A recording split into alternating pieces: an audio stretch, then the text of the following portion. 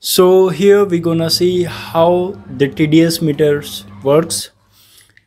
Well the TDS stands for the total dissolved solids in the solution or in water it is two metal contacts which acts as a probe. It gets dipped into the solution. I will explain you the science behind further in this video so it works with the two button cells. Let me remove the circuit.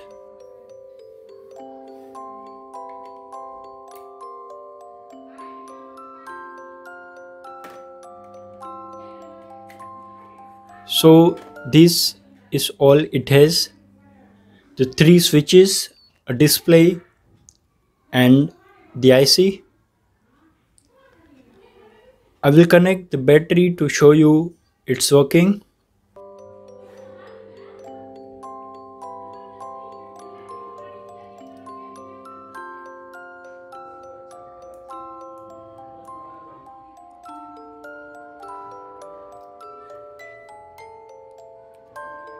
So it has all three buttons, one of them is for on off Another one is to check the temperature and the top one is to hold the result. This is the circuit.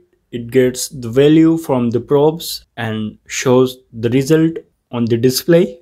Also, it has a transistor. Its base is connected to one of the probe and this NTC is actually a thermistor to sense the temperature.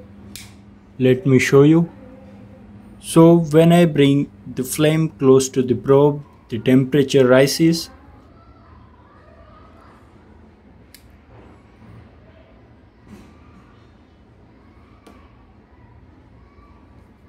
And by pressing the hold, the value will be freezed.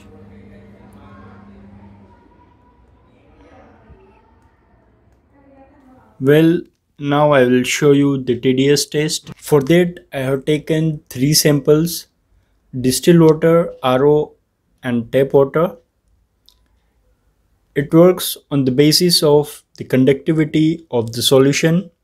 The more the TDS, the more the current will pass between the probes. The distilled water has the negligible conductivity because it has almost no solid particles in it while the tap water has the highest TDS and hence it has more conductivity. So if your phone falls in distilled water it will still work because it has the resistivity as much as the air. Okay, hope you like this video and sure to subscribe. See you in the next video.